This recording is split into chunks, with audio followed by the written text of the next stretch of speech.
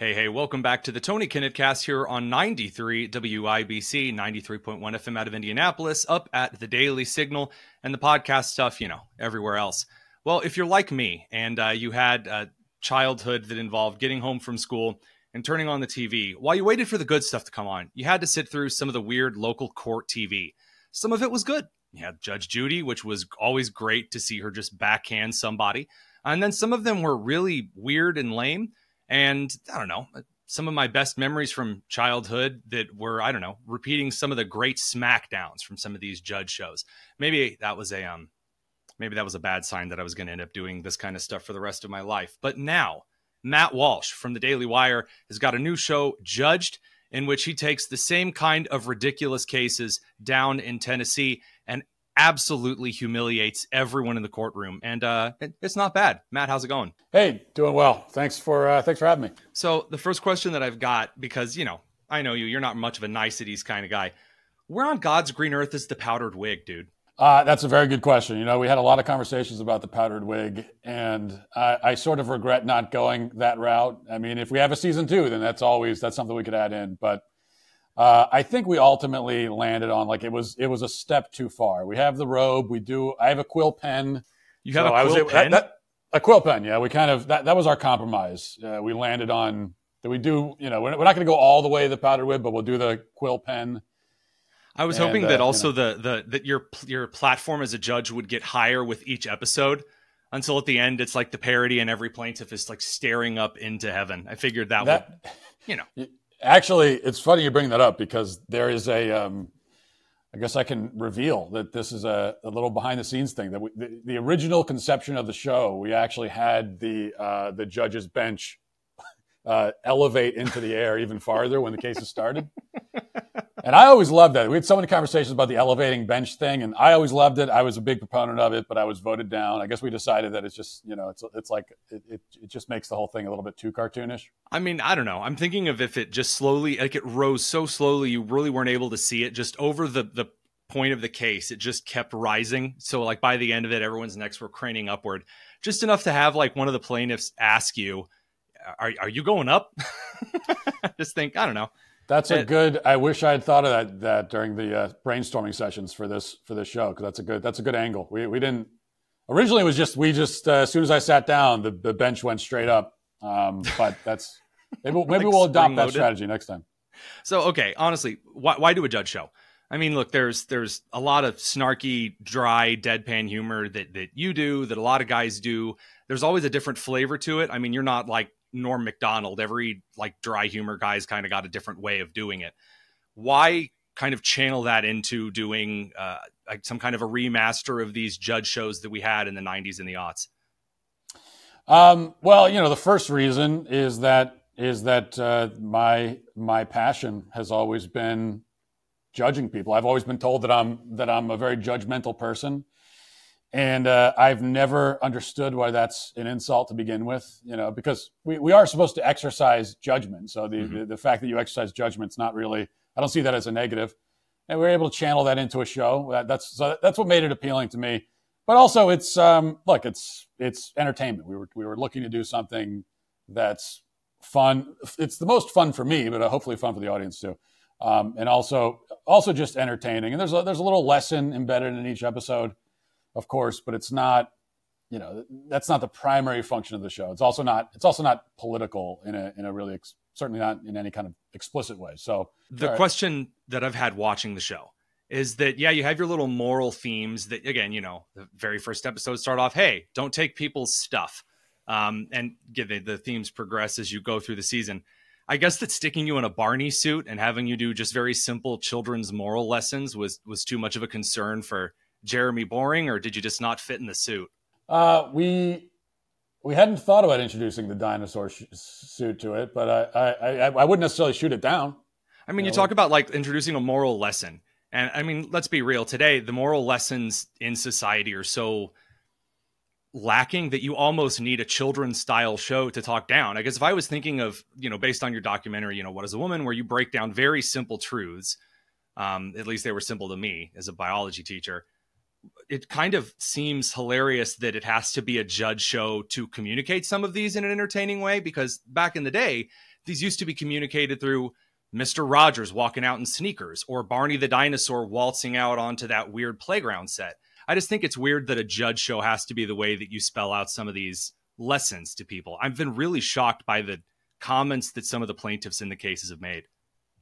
Yeah, and I think that uh, I mean, look, it is it is primarily a show where the the objective is entertainment, and we're not trying to uh, change the world with it necessarily. Mm-hmm. Uh, and I think that that's and, and, I think conservatives in general should that, that's something we've talked about, of course, the Daily Wire quite a bit, but that's something conservatives that's a game we should be trying to get into, um, j- making quality entertainment that isn't always um, doesn't always function as you know uh, political.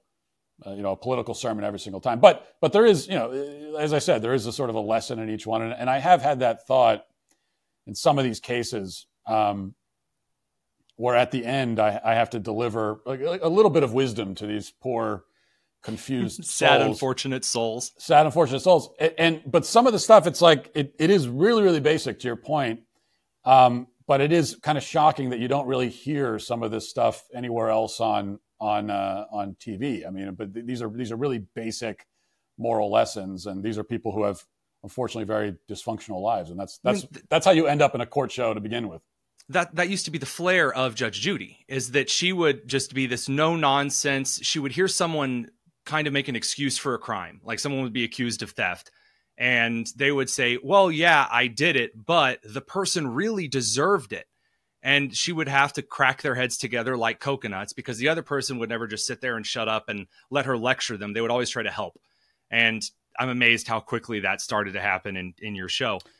And there used to just be this like the audience was saying it out loud almost like you're watching a horror movie you're saying you know don't go in there or something like that and you're watching this judge show i at least remember as a kid and you would want to say you're stupid to the plaintiffs that were on the screen and it was like a relief when judge judy would do it in a comical way and i'm shocked that the most entertaining thing about the show is how much that hasn't changed if, if not it's gotten worse in the cases that have been brought forward like how oblivious some of the people are to some of these cases. I mean, that are brought for you. Is are there any that stick out as just being like, how did this make it to camera in this courtroom set?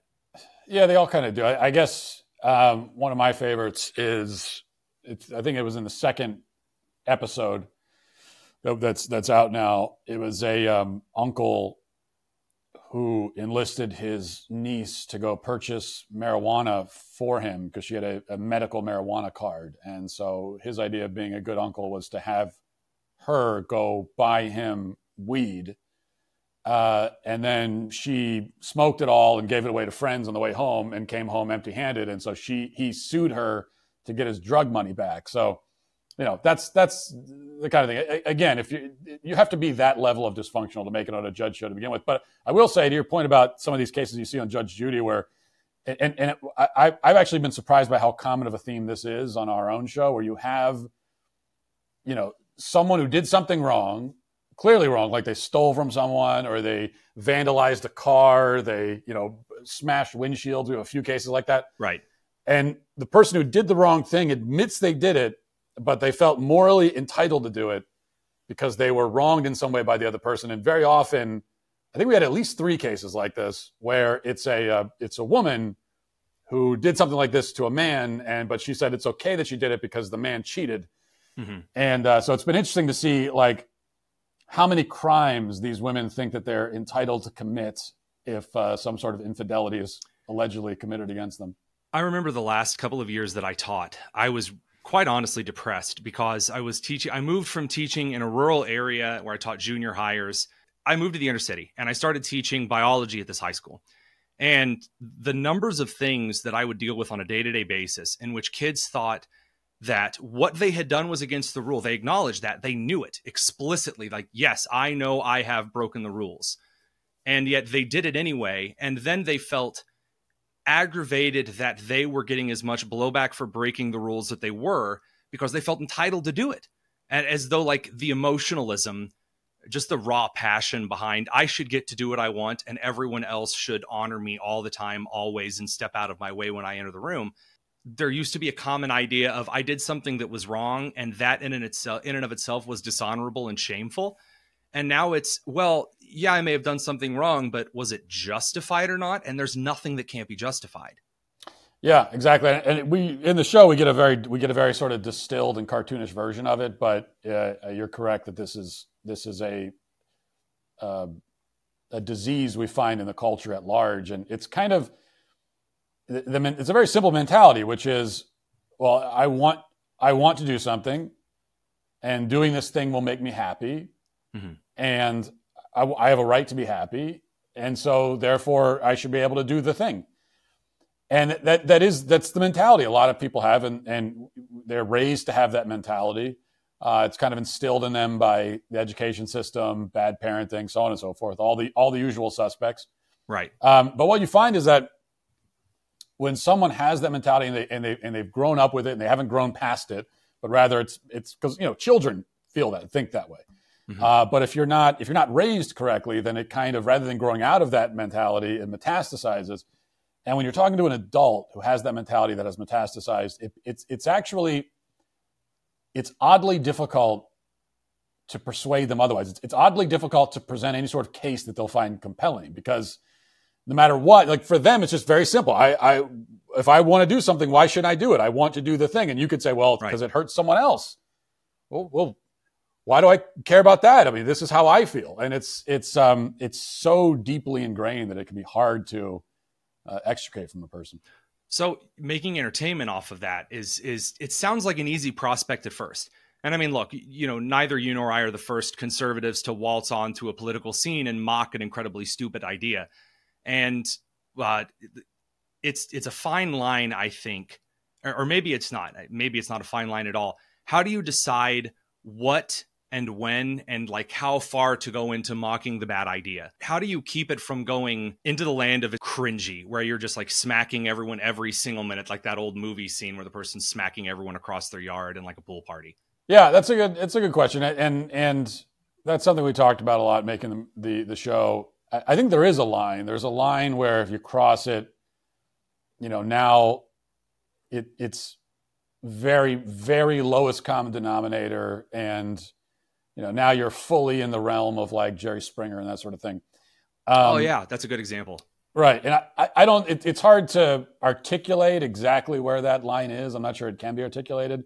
Right, but we we, we certainly had cases that were presented as, as options, and we said, eh, that's yeah, that, that's a that's a little too far. Um, so it, I don't know. It's kind of a feel thing. You kind of feel it out as as you go.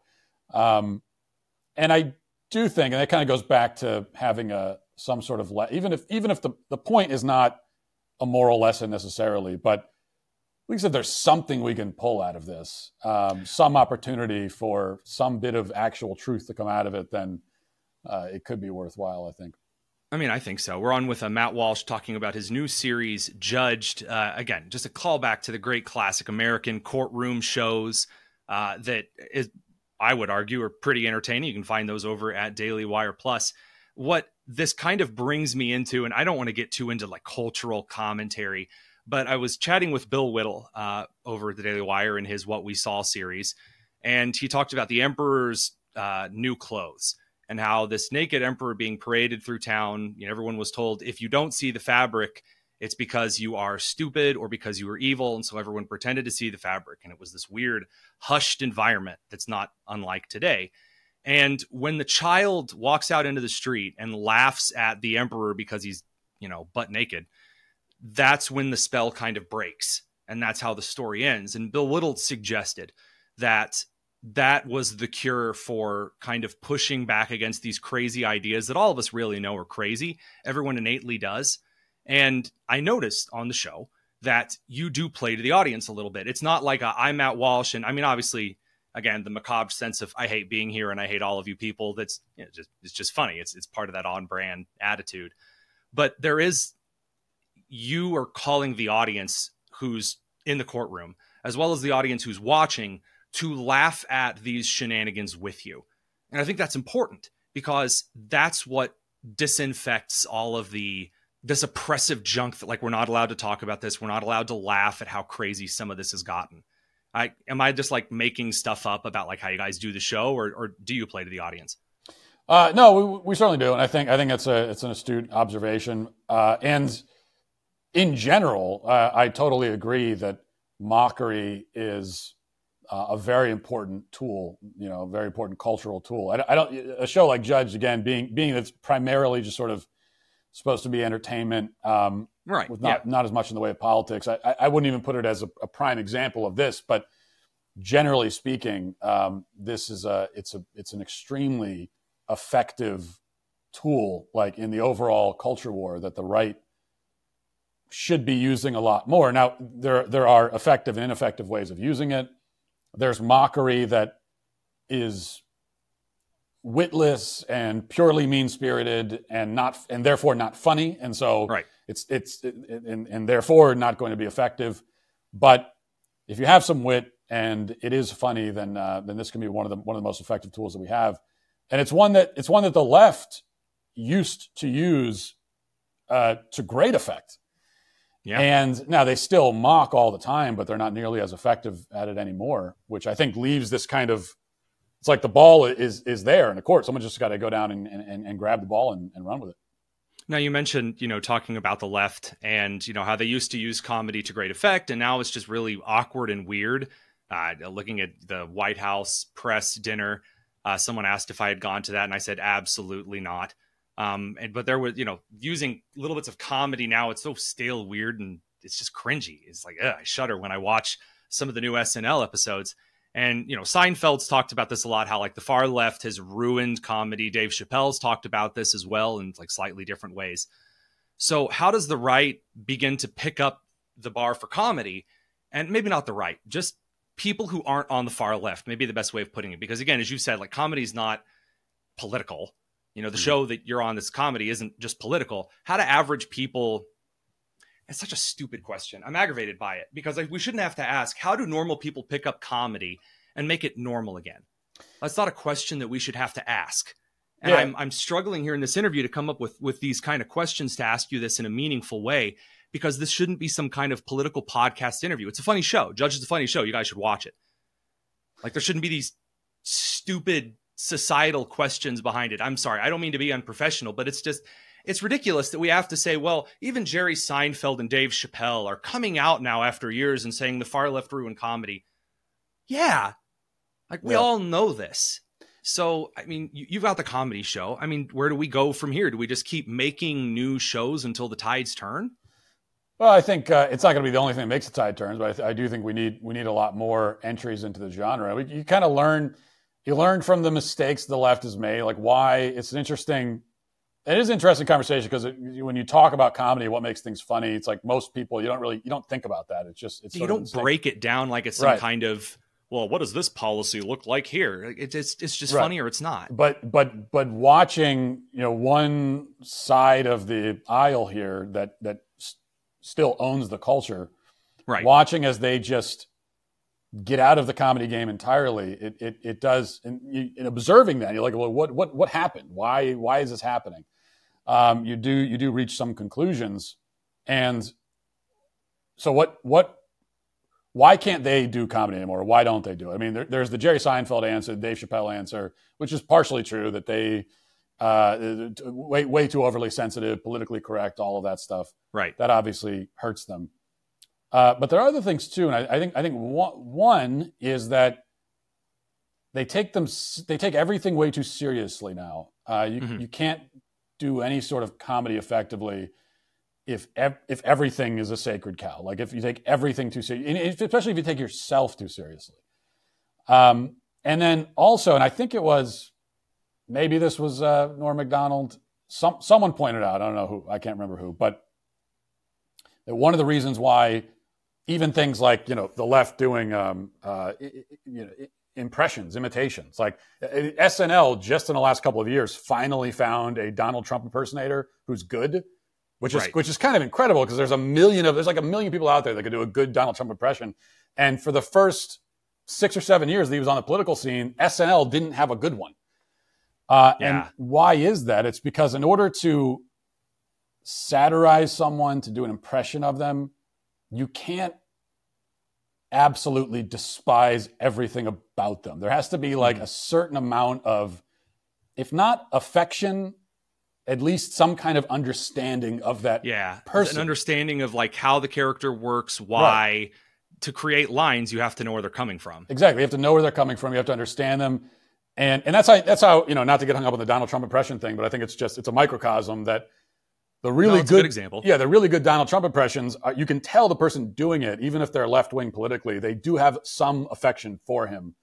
Uh, they kind of like something about him and they they, they enjoy doing the impression and that kind of exuberance comes through. It's what makes the impression really funny.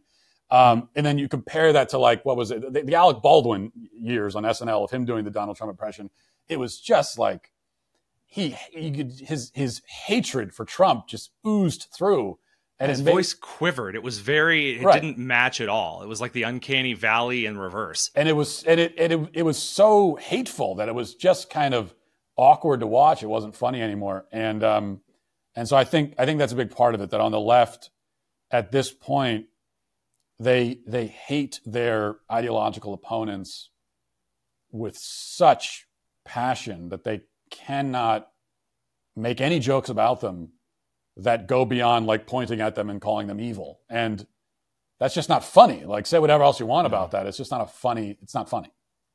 So if we if you take comedy and you start actually putting it in you know a solid way again, I'd say that's only kind of fixing half of the issue for entertainment because some of the other junk that we're dealing with day by day is that it, I don't know, it feels like a couple of decades ago, like the lawsuits and the cases that were out there felt more cut and dried.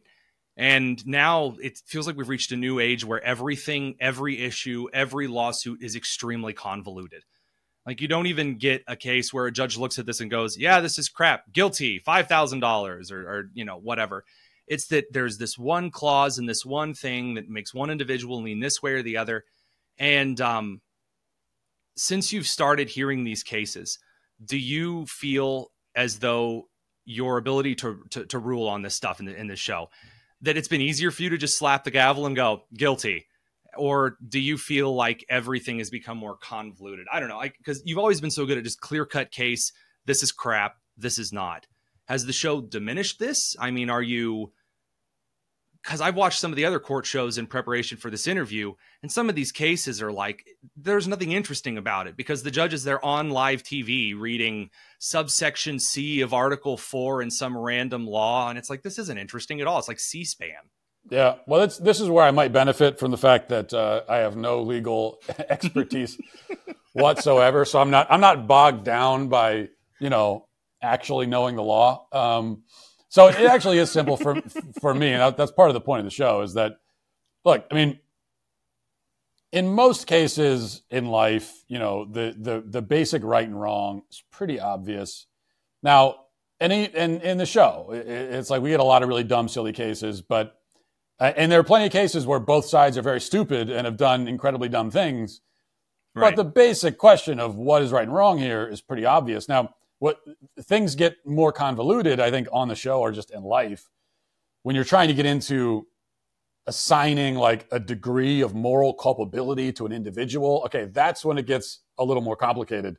Mm-hmm. But um, the basic question of what is right and wrong, was this the right thing to do or was it not? I think most of the time, most of the time is pretty clear whether you're doing a judge show or you're just operating in, in everyday life. Um, and there are exceptions to that, but but you know I, I, think you're right that we've gotten so used to not just in court but in life, like um, every conversation about everything gets bogged down in a million tangential, often irrelevant details, and um, it just seems like there's always this effort to stop people from arriving at any solid conclusion about about anything really. I mean, it just feels like everything's in the weeds. And I, would even, you know, just to, as a bit of self deprecation, I, would feel that way at the beginning. Start off the interview, welcome you on, and then start asking you very like detail, weedy, podcast like questions. I mean, that that aren't interesting. I mean, you know, I've liked your answers, and it, but to actually get to a point where it's actually some kind of a conversation, question and answer on general things that people are thinking and feeling, I I don't know. It just feels as though this in the weeds convoluted to get us from actually reaching to the end point has been such a detrimental factor of like the last decade. I know since 2016, everything has just been hyper analysis, and it's just it's it's exhausting. Yeah, that's also there's a there's a real strategy there. I always talk about this with, um, for example, the, the gender ideology debate, mm-hmm. uh, which is not really even a debate because the answers and the truth is so clear. Right. But that's a good example where you have one side, te- team sanity, who just very very clear, like men are men, women are, are, women, very obvious. Don't don't don't abuse children, don't chemically castrate children. You know, very very basic. Like this is the truth. Then you have the, the other side. The other side, they're not they're not really engaging on any of those arguments. They don't they don't really have a a, a distinct point of view that they're putting forward. Most of the time, all they do is just try to make everything as complicated as they can. Uh, they they do. They try. You know, you're you're walking on the clear path, and then there are the weeds over here, and they just want to they want to lead you into the weeds, not to bring you back on some other path that they prefer, but just to bring you to into the bog weeds. you down and stop. Right to leave. You, they want to leave you in the weeds, yeah. like leave you wandering and not knowing where the correct path is. That's a good point. Um, and that's and that's a, a, lot of that is the on the left the the breaking down of definitions. Yeah, and why you get hung up on every exception. Well, what if the you know in the, the abortion argument? What if she's a one-legged Im- illegal immigrant woman who has cancer, and right. they create like the unicorn exception person? Right, and that's no, it, it makes a lot of sense. That's the uh, that's the sort of internetization of of political debate because that's that's one of the things that frustrates me the most about having any kind of debate on the internet is that anytime you try to make any kind of general statement or a statement of general principle, you, you always end up in your comment section with 10,000 people saying, well, that's not, that doesn't apply to me because uh, here's my Glasses situation. down to the end of the nose and the book comes out and right. yeah. Right. that's, that's all it is. So I don't have a solution to all of this, but you know what? That's fine. You should go watch Judged right now. It's on Daily Wire Plus. It's a good show. It's funny. Watch it with your wife. And if you don't have a wife, be the kind of man who gets a wife and go watch it. It's a good show. I like it. That's it. Uh, what is a woman's fantastic? I've already talked about that as a biology teacher. Matt Walsh, thank you very much for coming on. Thanks for getting through maybe a little unorthodox of an interview, but uh, I, I really appreciate it, man. Thank you. Appreciate it.